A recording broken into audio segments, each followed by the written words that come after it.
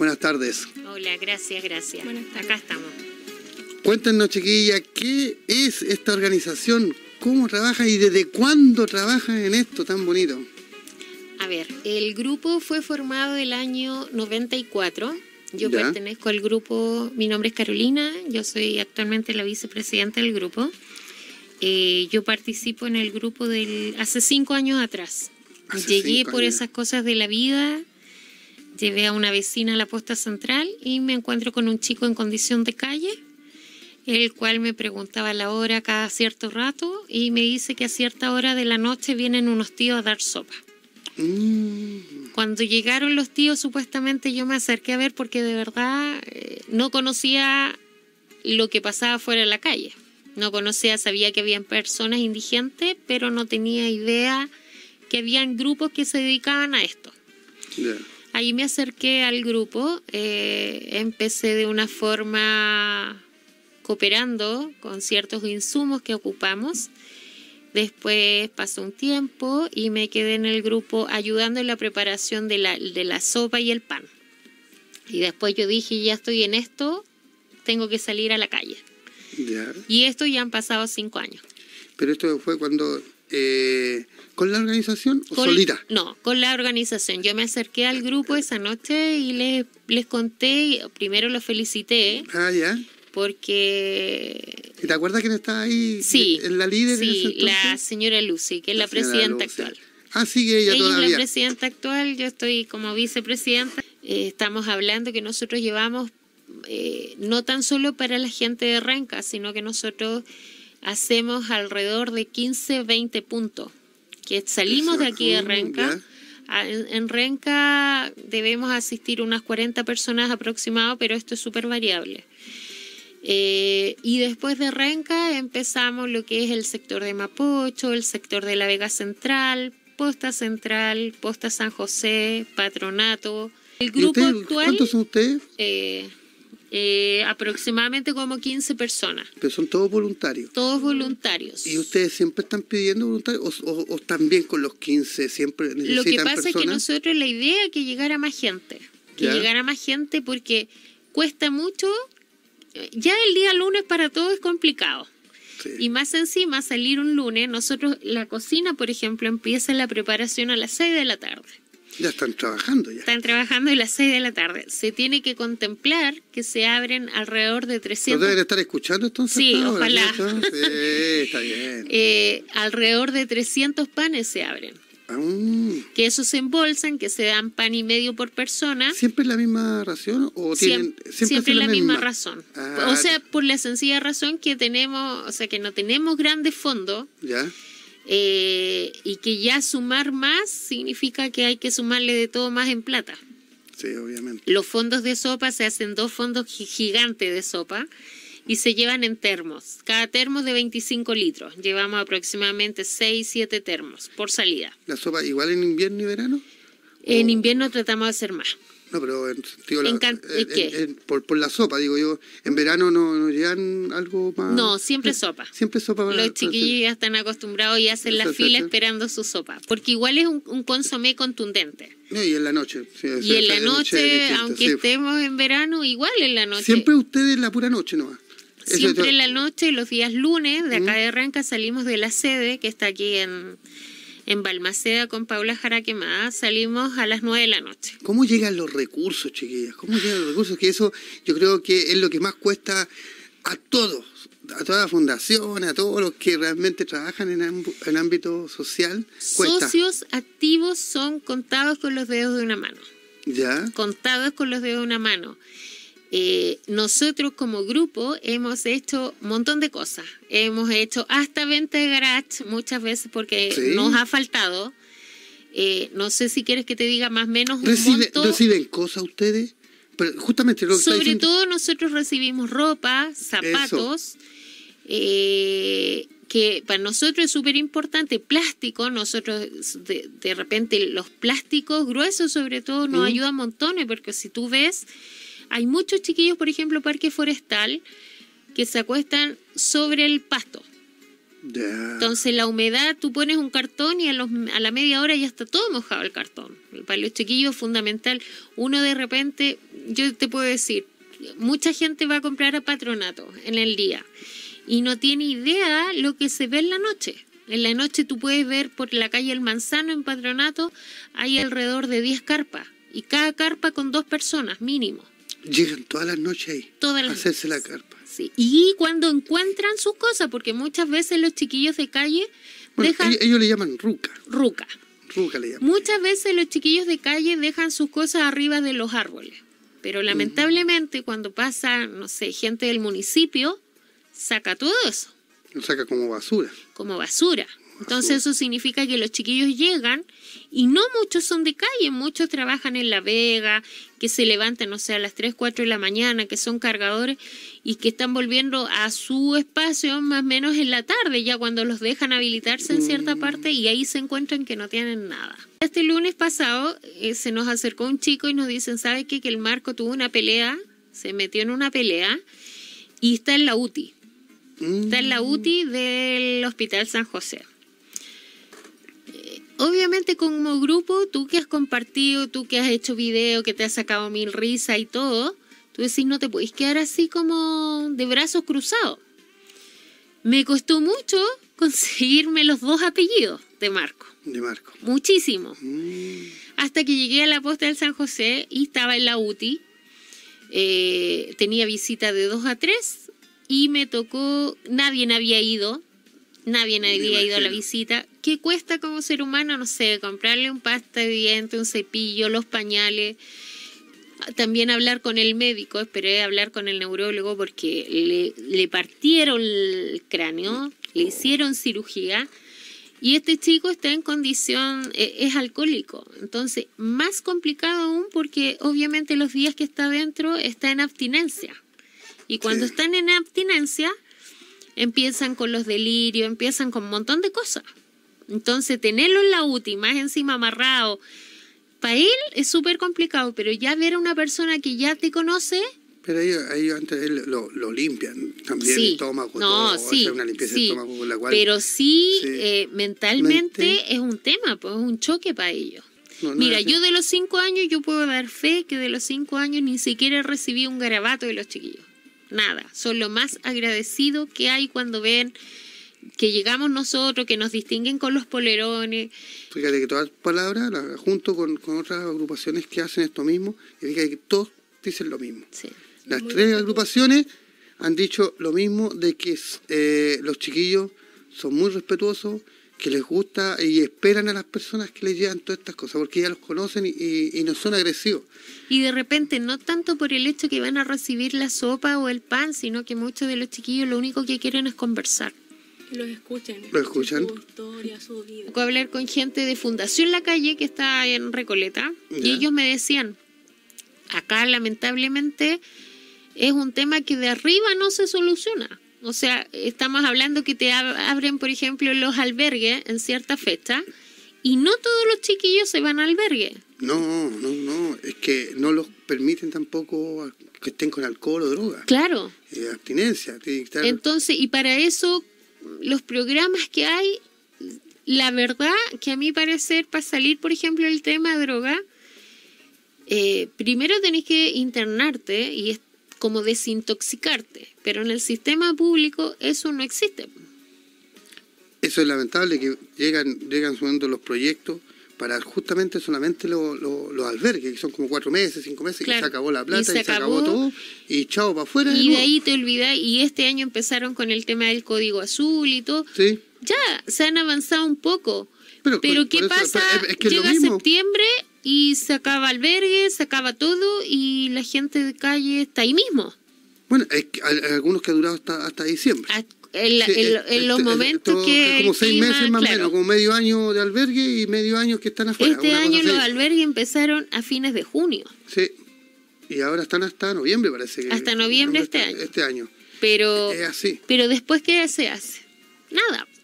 Y el resto, porque el albergue eh, tiene unos, unos cupos limitados. Una cierta cantidad de cupos, claro. Sí, y hay que pensar que esos cupos cada uno tiene su ropa, tiene... Entonces es como una persona que la va a cuidar el gobierno con ciertas cosas. Pero Ese- yo ese- no veo que hay, que, que hay, yo en el tiempo que llevo, yo no veo una baja, por ejemplo. No, Es no, que no eso- pueden llevar a ningún lado. y mira, ¿eso y en condición de calle, tú ves de todo. A nosotros nos ha tocado y nos ha impresionado, por ejemplo, gente que ha trabajado en el banco. Y que no es que te lo diga por decir, sino que tú empezás a tocar ciertos temas y te manejan un vocablo totalmente diferente y te empiezan a hablar. Hemos conocido directores de escuela, hemos conocido profesores, hemos conocido psicólogos y en su gran mayoría, Pero son jubilados. eh, la mayoría son jubilados. Ahí está el problema. ¿Qué pasa? Muchos se han separado y muchos se han caído al tema del alcohol y no han podido salir de eso. Eh, De repente reconfortante, que son los menos casos, pero si no ha pasado, ejemplo, no sé, un chico que se ganaba en La Vega ¿Ya? y llega y te dice, tía, ¿usted se acuerda de mí? De verdad, tú veías el lunes a lunes una cantidad gigante, entonces soy sincera, hijo, ¿sabes que No recuerdo mucho de ti, cuéntame. No, tía, usted me iba a dar sopa a tal parte. Yo me quedaba ahí. Pero Ah, ahora con su conseguí trabajo y arrendé mi pieza. Mm, A nosotros, de verdad, eso más te dan ganas de seguir en el tema. Más te dan ganas de, aunque estés cansado, aunque tengáis frío los lunes, aunque mil cosas, pero te alientan a que tú tenés que seguir en esto. En estos cinco años, Carolina, tú que llevas, eh, hay, hay- ¿has visto que va en aumento o, o- o- o se mantiene la misma? ¿Cómo lo ves tú? Es que yo, por ejemplo, el primer y el segundo año, yo veía la diferencia de los meses de invierno y verano. Yo veía la diferencia que ya cuando abrían albergue, esto bajaba. Ah, no, no, yo digo es que, como... Pero ahora llevo tres años que yo no veo diferencia. Que no veo diferencia. No sé si los chiquillos no todos se están yendo a los albergues, porque de repente te dan explicaciones y súper validera.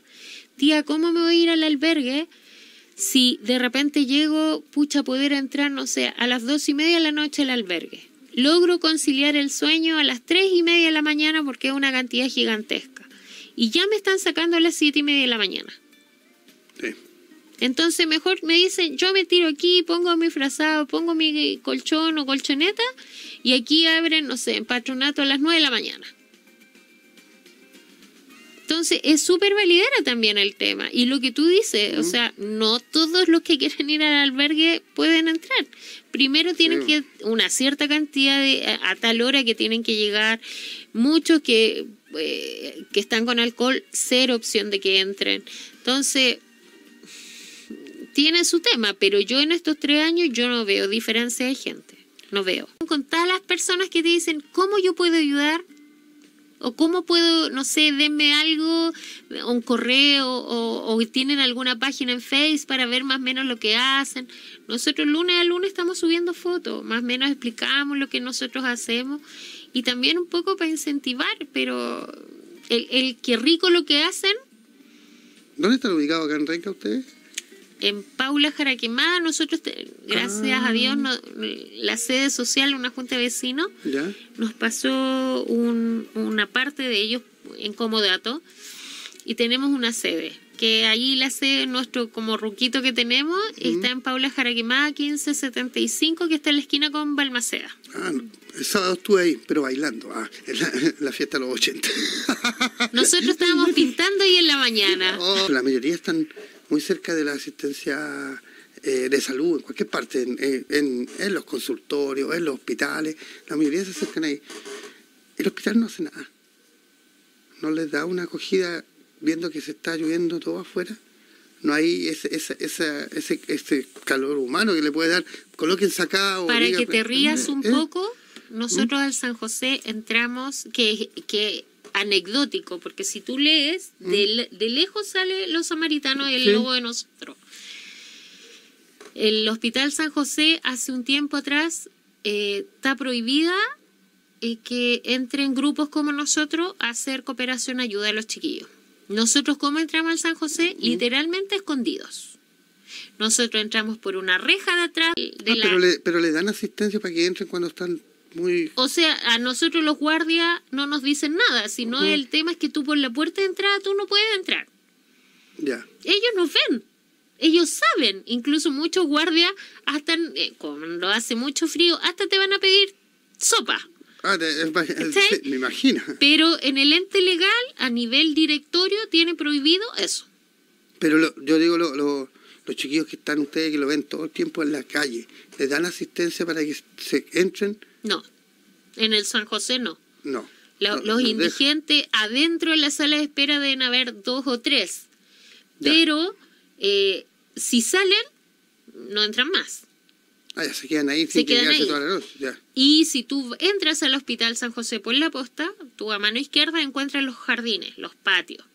De repente hay abajo de la ligustrina chiquillos acostados, están mm. acurrucados entre dos o tres, se tapan con cartones o se tapan con plástico o hasta con sus mascotas.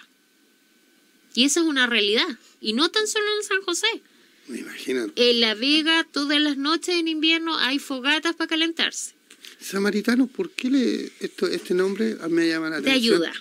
¿Ah? De ayuda. Ser un buen samaritano, alguien que ayuda. Porque ustedes no, no pertenecen a ninguna iglesia. A ninguna, iglesia. Solamente por el nombre, no más nada más. Solamente por ayudar. Increíble, ustedes tienen harta anécdotas, me imagino, con, con los muchachos y también con gente que de la tercera edad como dices tú, ¿cómo se ven ellos cuando digan? Porque 60 años, 65 años, ya ellos deberían estar no en la calle. ¿Cómo lo ves tú ahí? Una persona de arriba de 60 años, ellos a lo mejor ya están jubilados, tienen una pensión, van a cobrar y se la gastan en un día. Claro que sí, eso se ve mucho en, la calle. En la calle. Sí, después, no sé, yo al otro día de cada salida veo a mi papá, por ¿Mm? ejemplo, y pucha, no, es difícil ver a esa gente, a la gente de tercera edad que la, está, la pasa mal en las noches, sobre todo cuando hace mucho frío. Una salida de nosotros a Prox ¿Mm? en plata son 40 mil pesos. Todos los juntando todos los lunes. Todos los lunes hay que tener más o menos 40 mil pesos. Juntando las presas de pechugas de pollo, la sémola, el pan, las bolsas del pan, los vasos, más o menos son como 40 mil pesos. Porque usted auxilian a como a unas 40, 50 personas diarias, me decías tú, los días lunes. Acá en Renca. Acá en Renca. Sí, pues todo el total son 170 personas aproximadamente. El día lunes, ¿no? Es harta gente. En la puesta central de una ¿Mm? pueden ser 60 personas. harta gente. Basta con que tú vayas a la posta central, lo que es Portugal, lo que es Diagonal Paraguay, y tú ¿Mm? ves una cantidad de carpas gigantescas. Sí. No, sí pasado por De repente uno ve, pero no mira, digo yo. Uno ve, pero Hay gente que se imagina que están esperando a la gente que, que sale y se quedan ahí al, al, No, y no es así. Es gente indigente. gente que vive ahí. Entonces, nosotros tenemos que saber contar con esos 40 mil pesos. Por eso muchas veces hemos hecho, un tiempo estuvimos haciendo almuerzo solidario que le llamamos. ¿Se topan con gente, con otros grupos los días lunes? Siempre los días lunes ¿eh? hay menos grupos. Ah, pero hay grupos. Hay, hay, otros grupos. Hay otros grupos que llevan, por ejemplo, café. Si no tienen ni para un corta uña, a lo mejor posiblemente no se dedican a eso, pero darle asistencia a corte de pelo como, un peluquero, pero eso ya para ellos es, fantástico. Súper, sí. No, y los chiquillos de verdad que aprecian montones. Nosotros hacemos a fin de año, hacemos casi todos los años hemos tratado de hacerle como un presente mm. y que son cosas, no sé, una pasta de diente, un cepillo de diente, mm. la presto barba. Eh, son poquitas cosas en su bolsa y de verdad que los chiquillos, más que agradecidos. Pero no, no, sabía que existía esta, haciendo esto. Yo conocía otras organizaciones y otras fundaciones haciendo algo parecido, pero no las conocía a ustedes samaritanos. Fíjese cómo es la cosa. A toda la gente que no escucha, eh, ojalá es que puedan asistir un día lunes a las 6 de la tarde a la sede y que vean in situ lo que se hace. Lo que se hace. Cómo preparamos los termos, la sopa, cómo tratamos de, no sé, pues separar la ropa. Muchos de los chiquillos calzan tanto, calza allá para este que nos pidió, sabemos que no tiene que las calcetas, que de repente cuando hemos podido comprar o que nos han llegado frazadas, Para ellos es súper importante el tema de la frazada, súper importante, los cubrecamas. Muchas veces tenemos en las casas Mm. que cambiamos, pues si cambiáis, Muchas- te compráis uno nuevo, ¿y qué haces con la idea no votar? Pensar que más de una persona le puede servir y le puede servir mucho. ¿Tienen algún proyecto en mente como, como de- Eh, fuera de, de todo esto, llegar a algo de aquí a fin de año, una cosa así? Bueno, de aquí a fin de año, eh, la idea, por ejemplo, en septiembre poder quizás, no sé cómo va a mandar en tema plata, pero quizás en vez de llevarle el pan, llevarle la- las empanadas a los chiquillos. Una empanada. Ah, sería Que para ellos, de verdad, hay veces que los chiquillos no tienen para las lucas o para la luca para pagarse una empanada o prefieren comprarse otra cosa. Y te re- un año pudimos hacerlo y de verdad estaban fascinados.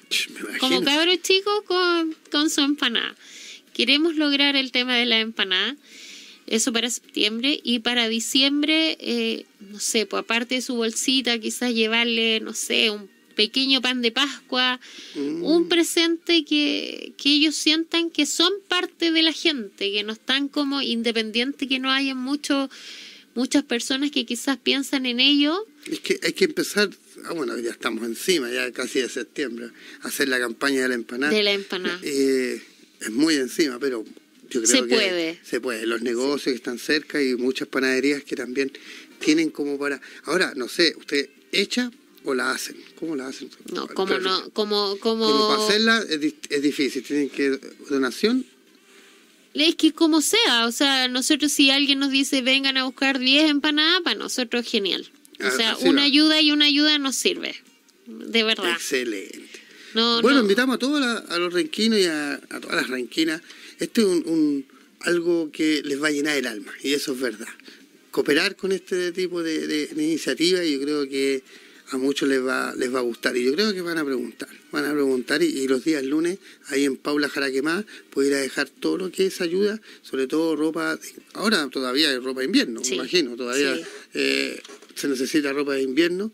Y también lo que ustedes ocupan, puede ser, porque ustedes todos los lunes tienen su web, pero pueden llevar también ese tipo de cosas. ¿Qué, sí. qué, qué cosas ocupan? Ustedes ocupan Sémola. sémola, denlo, me gustó, la sémola. verdura surtida, Ah, los vasos que son eh, son Vasos- como 230 que son de esos de plumaví, ah, de esos térmicos, térmico.